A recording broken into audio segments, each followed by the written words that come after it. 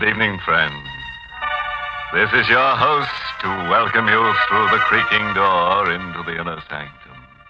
Come in, come in. Tonight we're inaugurating a quiz. It's a cutthroat session called Take It or Drop Dead. To qualify, just tear off the top of your neighborhood mortician and send it to us by hair mail. now, listen to this. Here's our terror tune. If you could guess the correct title of our morbid mazurka in one scream or less, here are the prizes you'll win. A brand new 1949 stainless steel guillotine. Just the thing for whittling down your wife's overhead. And a handsome hand-tooled Florentine dagger. The knife without a conscience. And the take it or drop dead grand prize. A free, all expense murder trial in a court of your own choosing.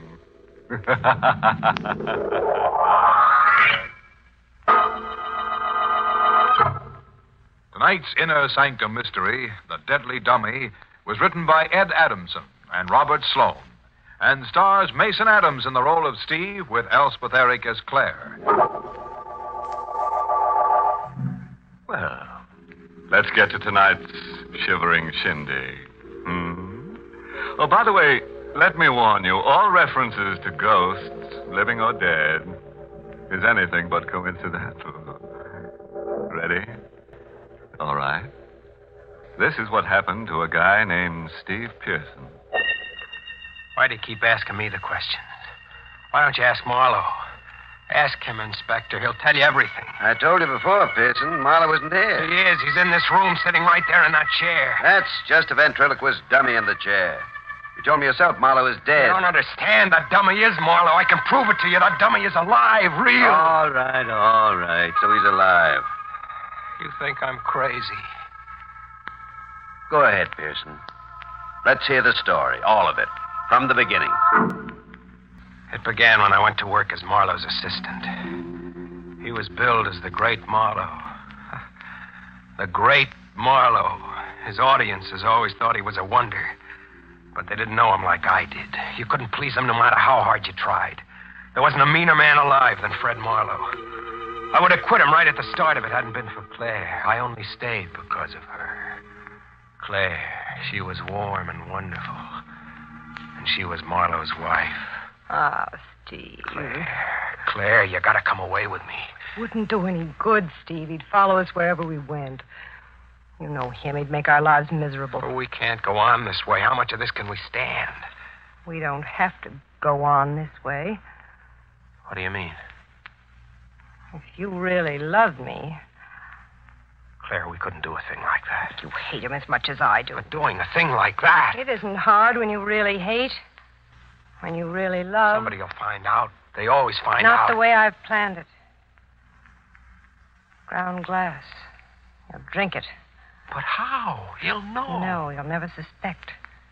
It'll be during his act. What? That part where he drinks the water while the dummy whistles. You handle his props. All you have to do is put the powdered glass into the water pitcher before he goes on. He'll pour the drink himself. Yes. After he goes off, you can wash out the pitcher and the glass. There'll be no evidence. You do it, Steve? When? He's giving his last performance the Lido on Tuesday. Tuesday. It'll be Marlowe's last performance anywhere.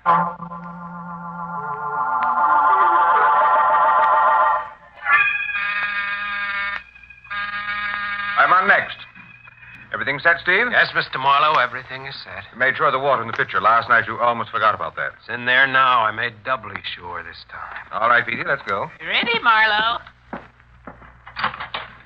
Claire, Yes, Fred.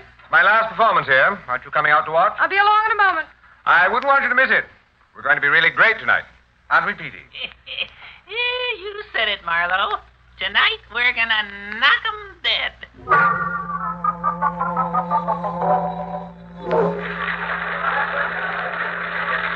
Claire and I stood in the wings while Marlowe went through his act. It seemed like ages, like he'd never get to the part we waited for. That's what I want to say to you. And then finally, Petey, talking about drinking, I'm a little thirsty myself. That was the cue. Now he was coming to it. Sure you won't join me? Oh, uh, never touch the stuff. You go right ahead, Marlowe. I'll entertain the folks with a number while you dampen your tonsils. Okay, Petey. Take over. The water in the glass slowly emptied. A silent scream shook in my throat. Suddenly, I didn't want it to die. Hating a man wasn't enough reason for killing him. I wanted to stop him. The scream in my throat begged for release. And then I felt Claire's hand grip mine. I turned to her. Her smile smothered the cry within me. Her hand tightened and pulled, and we walked away from the stage.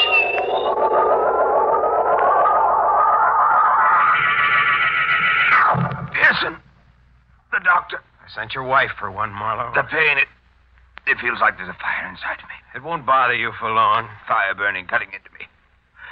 Pearson, I'm dying. Yes, Marlowe, you're dying. Pearson, help me. Nothing can help you now. I won't die. The doctor will save me. He won't let me. There won't be any doctor. What? Claire didn't go for one. Claire, she wants me to die. She hates me. You and Claire, you both hate me. You did this to me. When you drank that water back at the Lido tonight, there was ground glass in it. No. Ground glass so finely powdered you couldn't see or feel it. Petey. A dummy can't help you, Marlowe. Petey, Petey, I'm dying. Help me. Oh, Marlowe, you're just a ham at heart. What? A real ham. Uh, don't you think so, Steve? What is this? Oh, that deathbed scene of Marlowe's. right off the cob. I thought it was quite good, Petey. Oh, strictly amateur night. Strictly. Marlowe. Marlowe, you. You're all right. You see, Petey, I had Pearson believing. But it can't be. You drank that water. I saw you. Yes, I drank that water. But you're all right. It, it, it, it, it, it's not possible. Marlowe, you're killing our friend Steve with suspense. Come on, give him a break. Of course. Here you are, Pearson. Here's your ground glass. Marlowe had known we were up to something. Somehow he had switched the container of ground glass I had bought. He let me leave his hotel room without another word. I didn't know what to do, what to expect. I waited. Three days went by. Then he sent for me. Sit down, Pearson. I'll be with you in a minute. Marlowe was busy packing a trunk. I sat there waiting. The dummy, Petey, was propped up on the table, his perpetual grin mocking my fear. Our friend looks kind of uncomfortable, Marlowe. Really, Petey? Why did you send for me, Marlowe? Clara and I are sailing for South America tonight. I suppose you're curious as to what I'm going to do about you. All right. What are you going to do? Nothing. Absolutely nothing. I just wanted to tell you about Claire, Steve. She's poison. Petey never did like Claire. Marlowe's a sucker for that dame. yeah, I guess she never told you that she tried to have Marlowe knocked off before. Yeah, there was another guy had the job before you. Claire fed him the same line. He's lying, Marlowe. Why don't you ask her? She'll be back soon. Claire wants Marlowe's money, but not Marlowe. She was just using you. Shut up. She'd give you the go by so fast. Shut up, I said. You're out of her class. She wouldn't want you in a minute. Oh, this will shut you up. I'll break you into a million pieces. You're a fool, Pearson. You forget there are other Peteys. After all, they're only me. Remember? So you see, the only sure way to shut them up is to stop me. Hmm? Marlowe taunted me with a sickening laughter. I couldn't stand it. I had to stop him some way. I felt along the table behind me. My hand came across the heavy glass ashtray. I gripped it tightly, then brought it up from behind. He slumped to the floor. The grin was still on his face. I bent down over him. He was breathing. I hit him again. Marlowe was dead. You shouldn't have done that, Steve. It was the dummy talking. I heard him. He lay on the floor. I had crushed him into a hundred pieces. But they were his words, his voice. You can't get away with murder. You'll see, Steve.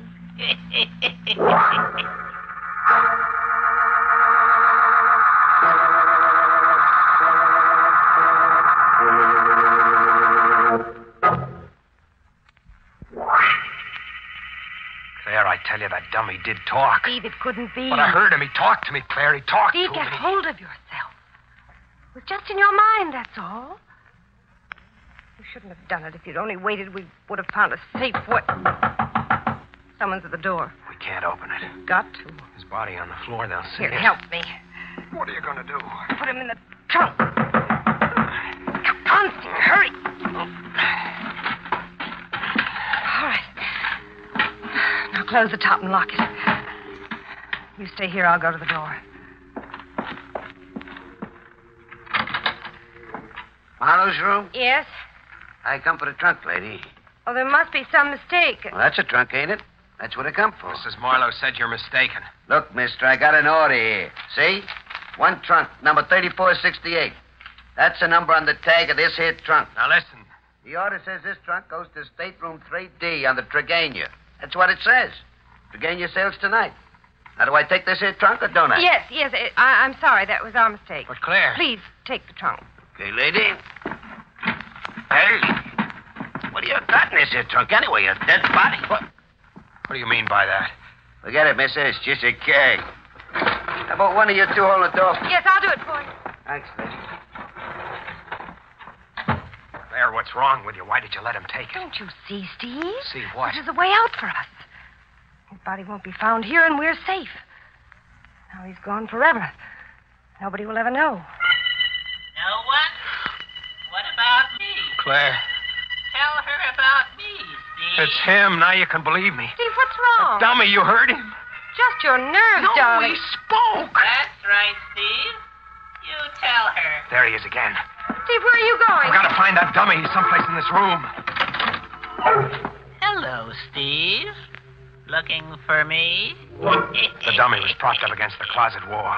He looked at me with the same evil grin as the one I had crushed to pieces. Steve, please stop staring that way. I'll burn him, every rotten fiber of him. I'll burn him to an ash. Then they'll never talk again. Steve, believe me, he didn't talk. It's just your imagination. I'm not crazy. I heard him. So did you, only you're too afraid to admit it. He couldn't talk without Marlowe. Marlowe would have to be alive for that dummy to speak. What? What'd you say? Marlowe would have to be alive. You know that. Yes, yes, that's right. What's the matter with me? Yes, he would have to be alive. You see, it was just your imagination. Marlowe isn't dead. Oh, now, Steve, please. He wasn't dead when you put him into the trunk. He just wanted us to think he was. I didn't kill him. He wasn't dead. That's why the dummy talked. Marlowe can do tricks like that. Come on, Claire. We've got to hurry. No, wait, We've got to get there fast. Claire, Steve? What are you talking about? Marlowe's stateroom on the boat. He'll be there in the trunk. I've got to make sure he's dead.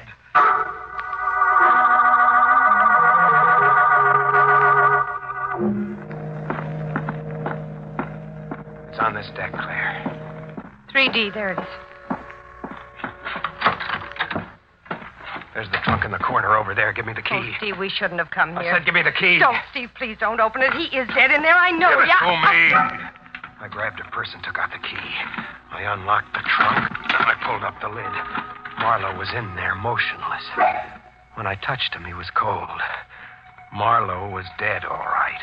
But there was something else in the trunk with him, at his feet. And the same grin was on his wooden face. Hello, Steve. I knew you'd come. I was waiting for you.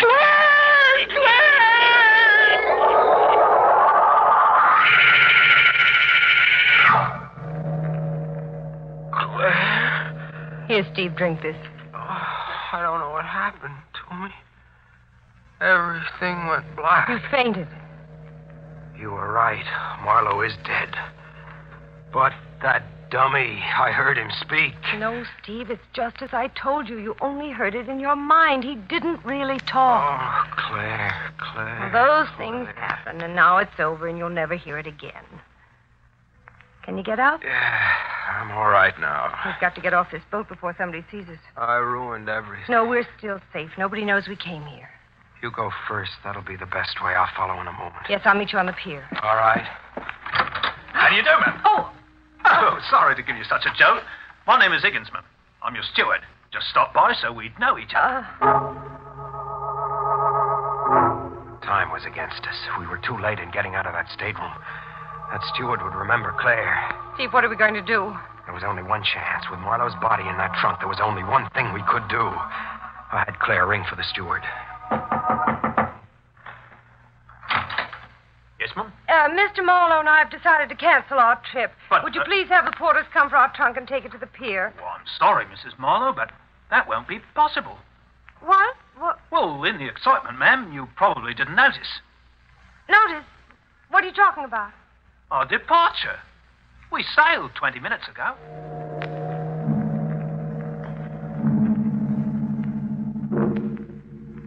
Walked into a trap of our own making.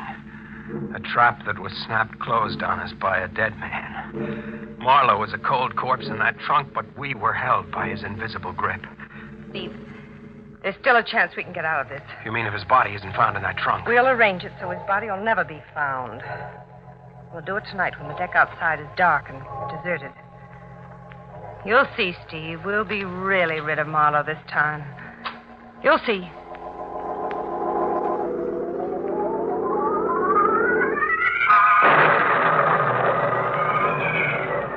First break.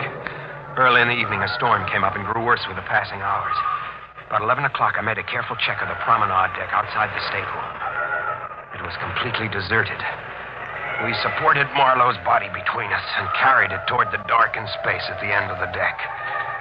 In the morning, I'll report my husband is missing. They'll ask a lot of questions. I'll have all the answers, just the way we planned them. I'll tell him how he often gets up at night to go for a walk. And the dizzy spells. Yes.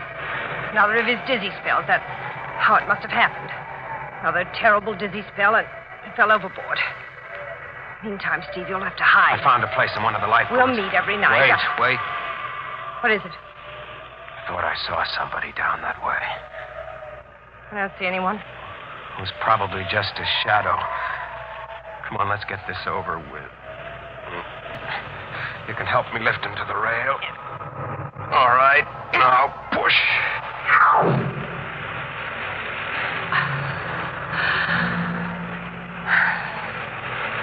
It's gone, Steve. Yes, Claire, that's the end of Marlowe. Now we can live, really live. Will you kiss me, Steve? Will I kiss you? Come here. Oh, Steve. Oh. I beg your pardon. Oh. I'm sorry to interrupt. I'm looking for someone. I thought he might be with you. There was no one with us. No, we're alone. I see. I thought I saw three people walk over here. No. It's so dark, I must have been mistaken. Yes, it is dark. The man I'm looking for is uh, Mr. Marlowe. What? Do you happen to know him? Ah, my name is Marlowe. Then you're the gentleman I'm looking for. My name is Ralph Kramer, Mr. Marlowe. Kramer. Are you all right, Mr. Marlowe? Yes, yes, I'm fine. Why? I just wanted to be sure. By the way, I received your letter. Letter? Don't you remember? Uh, uh, no, not exactly. Oh, I can understand. You're a busy man, Mr. Marlowe. Well, just to refresh your memory, I'm in charge of entertainment here on the boat. I found out last week that you had booked passage. So I wrote to you asking you to consent to be one of the features in our theatrical tomorrow night. And I replied, You were very kind, Mr. Marlowe. You said yes. I just stopped by to thank you and say that we're all looking forward to your performance tomorrow evening.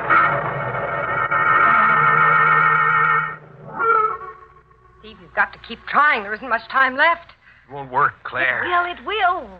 You know Marlowe's act. You've understudied him. You went on for him in Cleveland, remember? I know, but I can't do it now. I can't get it. It'll come to you, darling. Now just keep trying. Go on, Steve, please. Try again. All right. Tell me, Petey, don't you and your girlfriend Phoebe ever have a difference of opinion? Sure, Marlowe. But I wouldn't dare tell her about it. Oh, you see, Claire, it's no good. Now, you're doing fine. Don't tell me. I know it's rotten. Tell him I'm not going on. Steve, it means our lives. You've got to go through with this. Sure. You can do it, Steve. I'll see you through. Claire, What's wrong? What is it? the dummy just talked, and I didn't do it. He said, You can do it, Steve. I'll see you through. You heard him, didn't you? No. Don't let her kid you, Steve. There, he said something again. You didn't hear that either. Oh, now, Steve, don't. You've got to pull yourself together. That dame can really play angles, can't she, friend? Yes, she really can. Wh- who are you talking to? You know who I'm talking to. You know all about it. Go ahead, Steve. You tell her. You're making the dummy talk, Claire. It was you all the time. Don't know what you're saying. You're trying to drive me crazy. That's why you're doing it. Now I know what Marlowe said about you was true. You were just using it. No, Steve. You wanted Marlowe dead. You wanted his money, just as he said you were playing me for a sucker. Steve, don't look at me that way. Now I can see you for the first time. What you're really Don't you are. come near me. You are the same evil grin as that dummy. Because that's what you are, something inhuman. No, stay away. Something mean and vicious and bad. Steve! Mm. My hands gripped my throat. I squeezed tighter and tighter, my nails digging deep into the soft flesh. The color slowly drained out of her face. There was a final gasp, and then she stopped moving. She was like a rag doll in my hands. I stood there holding her lifeless body. Then, after a while, I heard a knock on the door. Mr. Marlowe. Mr. Marlowe, it's Ralph Kramer. Mr. Kramer? What? What is it?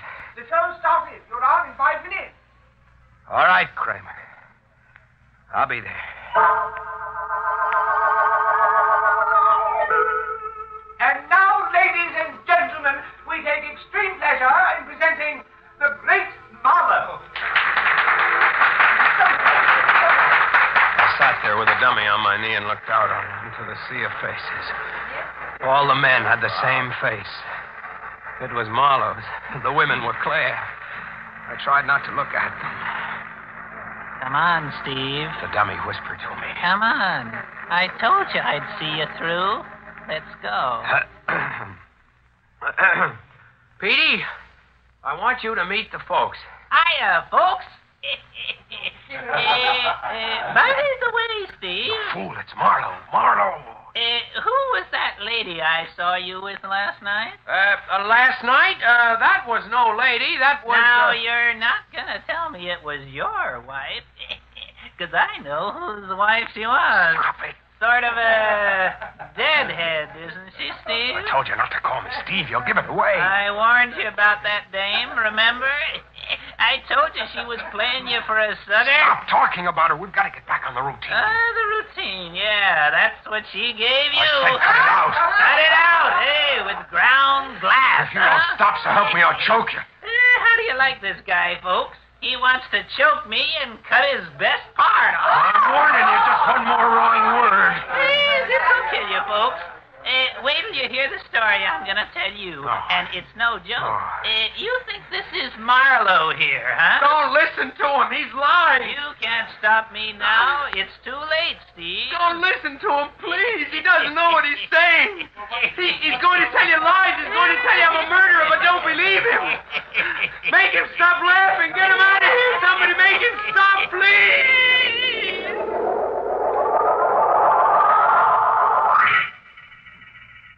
That's it, Inspector. That's the whole story of what happened. It was all because of the dummy on that chair there. You give us a lawyer's name and we'll call him. I don't think a lawyer would do me much good now. That's up to you, Pearson. I'll think it over. Okay, Roberts, take him downstairs. I don't suppose you'll need me any longer, Inspector? Uh, just one question, Kramer. Uh, what is that? What did you hear the dummy say that night when Pearson tried to go through with Marlowe's act? Oh, the dummy didn't say a word. Pearson was up there on the stage uh, talking to himself.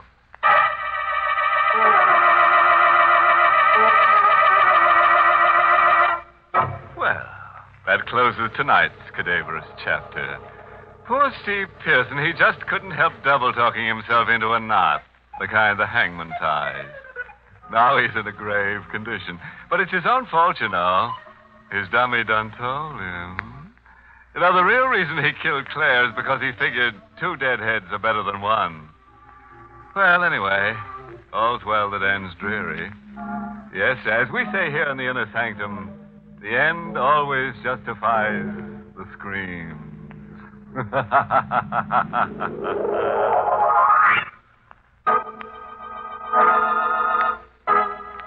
Inner Sanctum is heard each week in the United States over CBS, the Columbia Broadcasting System, and has been rebroadcast for servicemen and women overseas through the facilities of the United States Armed Forces Radio Service, the voice of information and education.